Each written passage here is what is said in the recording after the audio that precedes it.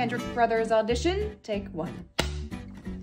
I'm Captain Holt from the Albany Fire Department. We've got to get you out of here. Let's go! Come on now, let's go! This is my favorite place in the house. I call it my war room. Kendrick Brothers audition, take 12.